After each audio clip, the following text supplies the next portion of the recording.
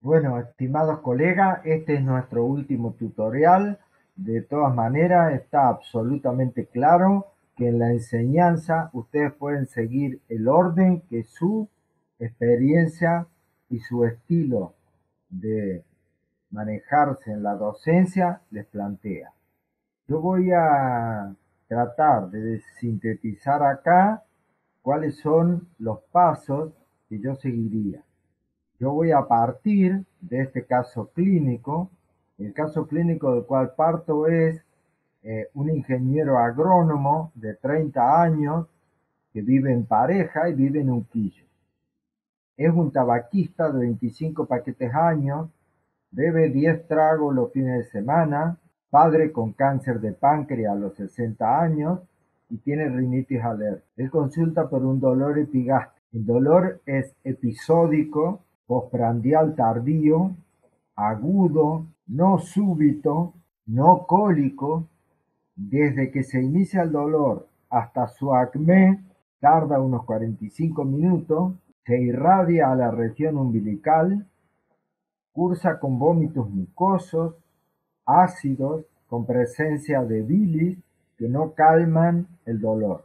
Las heces normales, al examen físico, me encuentro con una tensión normal, pulso normal regular, respiraciones normales, índice de masa corporal dentro de la normalidad y con un epigastrio doloroso, el resto del examen sin particularidad. Fíjense que yo acá resumo, antes de eh, seguir adelante, lo que encuentro en este paciente. Es un tabaquista, del cual yo debo, debo reconocer, además de sus riesgos cardiovasculares y neumonológicos, que otros factores etiológicos pueden representar el tabaquismo, especialmente en el aparato digestivo. Y es una buena oportunidad para reconocer que el tabaco puede ser un elemento cancerígeno en algunos lugares del aparato digestivo que no siempre los médicos tenemos en cuenta. En segundo lugar, este es un paciente que es un bebedor de moderado a excesivo de fines de semana, lo que yo debo reconocer epidemiológicamente qué significa esto en la historia patológica del paciente. Tiene un, padre que es familiar de primer grado con cáncer de páncreas a los 60 años. Yo debo saber cuál es el riesgo epidemiológico tiene una rinitis alérgica y consulta por un dolor epigástrico, con características que yo debo reconocer de acuerdo a los heurísticos o guiones clínicos o criterios o patrones descriptivos que me han ayudado a construir en el aprendizaje anterior. En primer lugar, yo debo conocer la fisiología del aparato digestivo y la fisiopatogenia, porque yo debo interpretar por qué ocurre en el periodo postprandial tardío. ¿Qué significa que sea agudo y no súbito? Que no sea cólico. Desde el inicio hasta el acné tarda 45 minutos. Se irradia a la región umbilical no calma con los vómitos. ¿Qué significa la presencia de bilis en un vómito? ¿Eso es normal? Eh? Bueno, entonces, sin estos elementos, yo no voy a reconocer frente a qué estamos. ¿Qué características tiene el aparato digestivo? El aparato digestivo se caracteriza por ser en la anamnesis el lugar de mayor utilidad para reconocer el significado o los signos. Como lo que menos aprende la gente es la anamnesis, en el aparato digestivo el diagnóstico accidental es muy frecuente porque la patología tiene alta prevalencia en la atención primaria y en la entrevista no se sabe reconocer frente a qué se está y a todos los pacientes se les termina pidiendo laboratorio, ecografía abdominal, endoscopía alta y baja. Por lo tanto, el diagnóstico accidental es mucho más frecuente que en otras eh, situaciones. Entonces, yo les quiero enseñar a los alumnos a reconocer un dolor pancreático. Yo sé que el dolor o los síntomas pancreáticos no son fáciles de reconocerlos, porque el páncreas es un órgano de comportamiento retroperitoneal. Y el diagnóstico de afección pancreática se puede confundir o debe ser necesario diferenciarse del diagnóstico de dispepsia y del diagnóstico vesicular. La secuencia en la que yo voy a enseñar es a separar lo más grosero, que sería blanco de negro, para después lo más fino, que podría ser presentaciones atípicas o oligosintomáticas, para diferenciar gris oscuro de negro o gris claro de blanco. En el epigastrio se pueden apreciar varias situaciones digestivas y no digestivas. Entonces, qué importante que yo retome este esquema que seguramente estudiaron en semiología y eh, lo use para ver el diagnóstico diferencial. Fíjense que acá en esta región falta la vesícula, pero está puesto el hígado. Este es un error que hay que hacerle entender a los alumnos para que no aprendan mal. Entonces, el dolor pancreático se confunde con dispepsia y con vesicular. Para los médicos en general, el epigastrio es sinónimo de gastritis. Entonces, lo primero que tengo que hacer es destruir este falso concepto, porque gastritis es un diagnóstico patológico y lo que yo estoy planteando como gastritis es simplemente una dispepsia. El vómito es un elemento que a mí me va a ayudar a reconocer lo gastrodenal, lo mismo que los síntomas ácidos sensibles. Y este es uno de los nuevos heurísticos que los alumnos van a escribir en sus redes cognitivas. Primero, el estómago no se diferencia del duodeno por la anamnesis. Entonces, cuando los síntomas aparecen en los periodos de ayuno, calman con la ingesta o con antiácido o con inhibidores de la secreción, reconozco síntomas como ácido sensible. Cuando el dolor gastrodenal calma con vómito ácido, reconozco un síndrome ácido sensible. Pero cuando el dolor calma con vómito, en lo cual hay alimentos ingeridos varias horas antes, estoy poniendo en evidencia un trastorno del vaciamiento gástrico o distrés postprandial que puede ser funcional u orgánico. A lo vesicular se los voy a enseñar después no es tan peligroso no diferenciarlo de lo pancreático porque tanto la vesícula como el páncreas van a ser estudiadas en la misma ecografía. Las etiologías más frecuentes en las pancreatitis son el origen alcohólico y el origen biliar. El caso que yo le presento para enseñar tiene que tener todos los elementos necesarios para reconocer y diferenciar. El libro de Willis Hertz, uno de los más importantes en el razonamiento clínico, que yo tuve la suerte de eh, volver a recuperar porque Susana Lunin me lo prestó y conste que yo se lo devolví porque soy alguien que devuelve libros y ella es muy ordenada. Lo que me pasó, yo les quería poner acá un link de lo que yo resumí, lo tengo en mi computadora, pero obviamente por un error de guardado no lo he podido recuperar. Cuando lo recupere, se los voy a, mostrar. Si no, Algún día Susana puede traer su Hertz y en una de las reuniones de cátedra podemos revisar algunos de los diagnósticos. Este libro, que a mi juicio es un tratado de los que más responde a lo que debe ser un tratado clínico, dice que ante un dolor epigástrico que no calme al vomitar, se debe pensar en el páncreas. Y yo le agregué si hay un contexto posible de etiología, como alcohol, litiasis vesicular o la parte genética familiar o dislipemia. Entonces, este es el heurístico o script o patrón descriptivo o guion clínico o criterio presuntivo que les tengo que ayudar a escribir en las redes cognitivas a mis alumnos. Esto es muy importante y obviamente a continuación yo les voy a presentar un caso para reconocer el dolor gastrodenal dentro del síndrome dispéptico.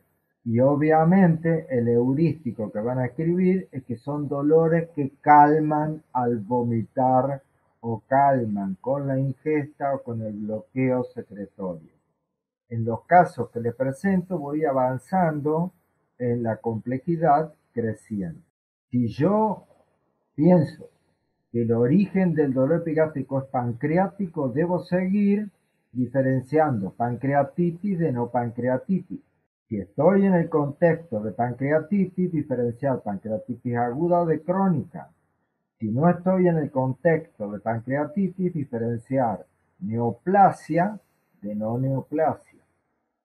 Si el dolor no es pancreático y es gastroduodenal, entro en el síndrome dispéptico versus no dispepsia. ¿Con qué se puede confundir una dispepsia? Fundamentalmente con los tragadores de aire o con problemas vesiculares o problemas colónicos. Si estoy en el contexto de dispepsia, el próximo paso es diferenciar orgánica de funcional. Si las características son de organicidad, la tarea es excluir cáncer gástrico, linfoma mal, úlcera de situaciones no ulcerosas. Y acá entraré en el campo de la dispepsia funcional, que hoy se aceptan como dolor epigástrico funcional versus distrés postprandial del adulto. Si el dolor no es pancreático ni gastroduodenal, pienso que el dolor puede ser vesicular o no vesicular. El dolor vesicular, lo primero que le tengo que enseñar a mis alumnos que no es un dolor de tipo cólico. Si el dolor es de tipo cólico, está refiriéndose a una víscera hueca con una dinámica muy importante que no es la vesícula. Es un dolor agudo que desde que se inicia al acné tarda entre 30 a 60 minutos. Esto es muy parecido al dolor de la pancreatitis.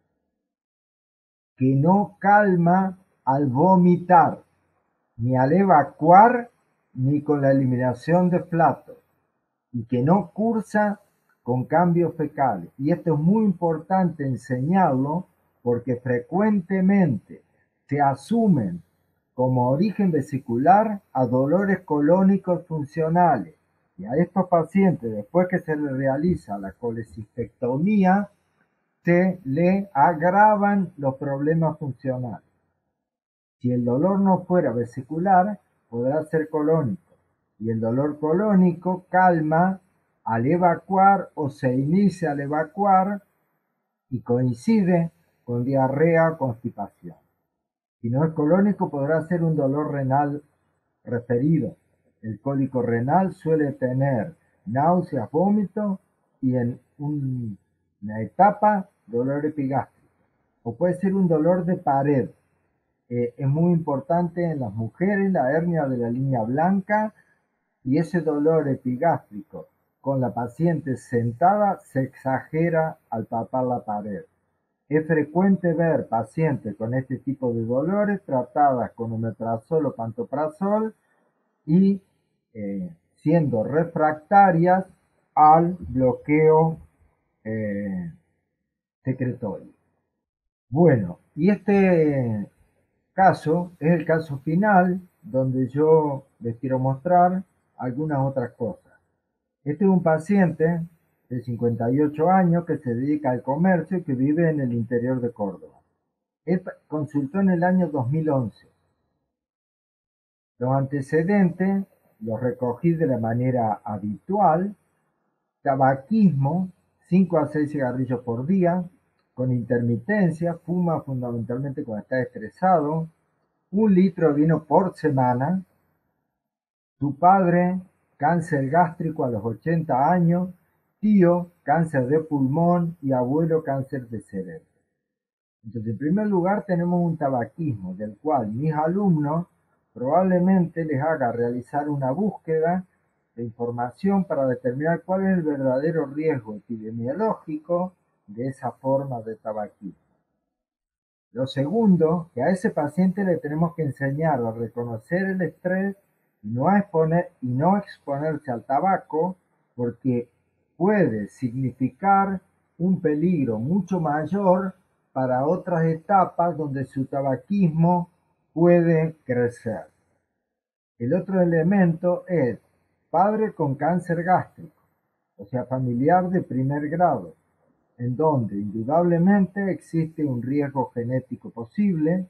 En este paciente, mis alumnos deberán aprender que está indicado buscar el Helicobacter pylori por un método no invasivo y ante su presencia realizar una videofibros, una videoendoscopía digestiva alta y según el diagnóstico, exclusión y vigilancia. En ausencia de Helicobacter pylori, en este paciente, yo empezaría la vigilancia gastroduodenal 10 o 20 años antes del caso índice. Y el caso índice que su padre fue a los 80 años. Por lo tanto, podríamos empezar en esta etapa o a los 60 años. El paciente está completamente asintomático pero al realizarle un, un screening de próstata le pidieron un citológico. Al examen nos encontramos con signos vitales normales y hay un hígado que se palpa a 3 centímetros del reborde costal en inspiración profunda de características normales.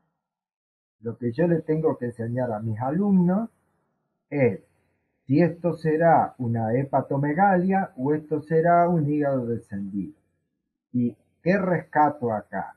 Que la técnica correcta para determinar esto es la percusión de la altura hepática a nivel de la línea hemiclavicular y que su punto de corte es mayor de 13 centímetros para hablar de hepatomegalia.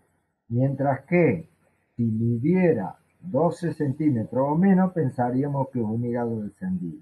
También le enseño que la ecografía no es una técnica exacta para medir eh, el tamaño hepático, porque el hígado no cabe en un solo campo ecográfico. Por lo tanto, esta exactitud es diferente a la exactitud para medir el vaso y el riñón.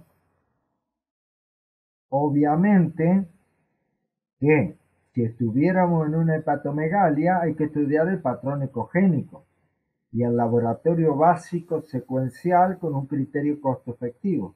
El criterio costo efectivo en la primera etapa sería una ecografía, especialmente para excluir grasa, ALT, AST, fosfatasa alcalina, gamma GT, protrombina y proteinograma por electroforesis. Si esto estuviera alterado, recién en una segunda etapa donde uno demostró enfermedad hepática, solicitar los estudios etiológicos del hígado, en el cual estarían todos los marcadores virales, hierro. Cuando este hombre muestra los estudios, tiene una hemoglobina de 12, 9400 blanco, esta fórmula, estas plaquetas, un eritro de 29, uno no entiende para qué a alguien le piden eritro cuando es un reactante de fase aguda y para diagnóstico no sirve, reticulocitos normales, ferritina en valor normal, creatinina eh, normal, ambas transaminasas normales, gamma GT normal, bilirrubina normal, orina normal, proteinograma por electroforesis normal, tiene anticuerpos anti-Helicobacter pylori, o sea que esto sirve como diagnóstico de presencia de Helicobacter, que en este caso habría que plantearse la erradicación. La ecografía abdominal es normal, por lo cual esto aleja considerablemente a un nivel razonable de exclusión de enfermedad hepática. Ahora, ¿cuál es la duda? Esta hemoglobina de 12 para un hombre, ¿yo la consideraré normal o me tiene que decir algo? Te excluye lo hepático y a este hombre se le plantea erradicar el Helicobacter pylori, comprobar la erradicación con el test del aire expirado a los tres meses para evitar los falsos negativos. Obviamente, ¿qué hizo este paciente? Lo que hacen la mayor parte de los pacientes que no tienen eh, síntomas clínicos. No volvió nunca más. Volvió en el año 2017, seis años después. Venía con una gran pérdida de peso. Cuando uno lo vio al paciente, realmente estaba irreconocible, intensamente desnutrido. Ha bajado su peso con ingestas habituales. No tiene ningún otro síntoma. Ha notado algunos cambios en las evacuaciones, Evacua materias fecales de menor consistencia, pero no llegan a ser líquidas. La tensión es normal, está algo taquicárdico, respiraciones normales, tiene un índice de masa corporal de 17, ya que está bajo peso y con una desnutrición muy importante, con palidez de piel y mucosa, y el hígado está igual que en el examen anterior. Y fíjense lo importante que es la historia clínica, porque si no, la palpación del hígado en esta consulta podría tener un significado diferente. No se palpa el vaso. Entonces, a la luz de la historia anterior, ¿cuáles serían las etiologías posibles? Neoplásicas versus no neoplásicas. Dentro de las neoplásicas, neoplasias digestivas, cáncer gástrico y cáncer colónico, fundamentalmente derecho. El paciente dice que le erradicaron Helicobacter, Helicobacter pylori, eh, no le hicieron control de erradicación y entonces la secuencia en la que le pedimos los estudios fue la endoscopía alta y baja y ambas llegaron sin tumor. Aprovechando este estudio, le pedimos que le hicieran biopsias de duodeno.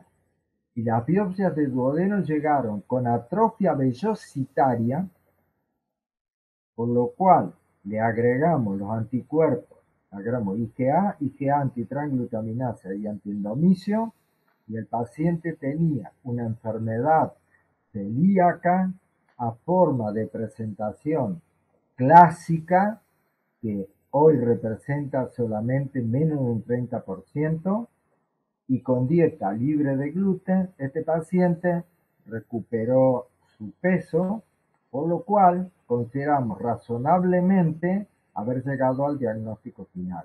Pero indudablemente esa hemoglobina de 12 gramos en ese momento estaba expresando alguna cosa que con el correr del tiempo, ¿qué podemos decir en esta síntesis? Primero, que nuestro rol como docente es de extremada necesidad de ayudarlos a construir adecuadamente sus heurísticos en base a la caracterización y la diferenciación, porque si estos alumnos no desarrollan sus heurísticos, scripts, patrones descriptivos, guiones clínicos, criterios presuntivos, van a cometer muchos errores diagnósticos. Debemos tener en cuenta la posibilidad de sesgos cognitivos y afectivos o emocionales para prevenir o disminuir el error diagnóstico. Debemos aprender a realizar el manejo empírico cuando quepa o la realización de estudios con criterio costo Debemos tener conocimiento profundo de la exactitud de los estudios complementarios del diagnóstico para evitar falsos positivos y falsos negativos, porque la tasa de falsos negativos es lo que le falta a la sensibilidad para llegar a 100 y la tasa de falsos positivos es lo que le falta a la especificidad para llegar a 100. Bueno, estimados colegas, yo les pido disculpas por la extensión de los tutoriales. Yo no he podido hacerlo más corto y obviamente no tengo ni la capacidad de Marcelo Tinelli para entretener, ni la de Susana Jiménez o Mirta Legrand. Por lo tanto, si los he aburrido, sorry. Nunca se olviden de sonreír, porque el día que no sonrían será un día perdido. Chao.